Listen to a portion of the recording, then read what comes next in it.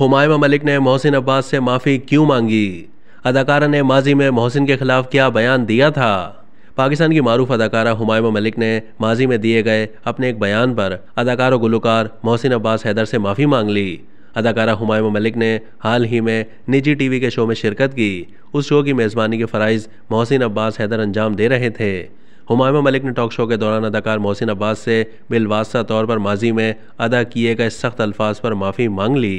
Show के दौरान हुमायूं मलिक ने इस बात की तो वजाहत नहीं की कि वो किस खास बयान का हवाला दे रही हैं, मगर सोशल मीडिया सार्फिन ने भाप लिया कि वो किस बयान पर शर्मिंदगी का इजहार कर रही हैं। याद रहे कि माजी में अदाकार मोहसिन अब्बास हैदर पर सबका अहलिया फातमा सुहेल पर घरेलू तशद का इल्ज़ाम लग चुका है। उस दौरान हुमायूं मलिक और उनकी बहन अदाकारा दुआ मलिक ने मोहसिन अब्बास को सोशल मीडिया पर बुरा भला कहा था और उनकी अहलिया का साथ दिया था। शो के दौरान अदाकारा हुमायूं मलिक का मोहसिन अब्बास को मुखातिब करते हुए कहना था कि मैंने अगर कभी ज़िंदगी में आपके लिए कुछ गलत या सख्त कहा हो तो मैं उसके लिए माफ़ी मांगती हूँ।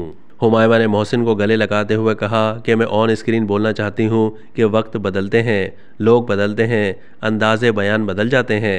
वाज है कि 2019 में मोहसिन अब्बास हैदर की सबका अहलिया फातमा सुहेल की जानब मेज़बान पर एक से जायद इजवाजी ताल्लुक रखने और घरेलू तशद का इल्ज़ाम लगाया गया था।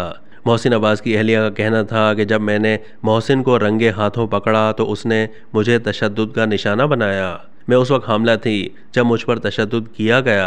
इन इल्ज़ाम के मंजर आम पर आने के बाद कई मशहूर शख्सियात ने मोहसिन को उनके रवैये पर तनकीद का निशाना बनाया था, जिनमें हुमायूं और उनकी बहन दुआ भी शामिल थीं। उस वक्त हुमायूं ने ट्विटर पर फातमा सुहेल के लिए अपनी हिमायत और मोहसिन के लिए गुस्से का इजहार किया था।